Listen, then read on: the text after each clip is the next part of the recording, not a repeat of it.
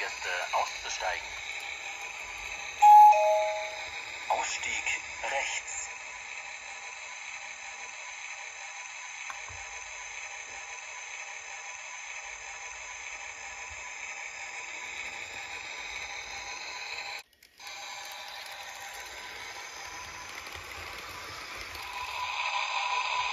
Nächster Halt.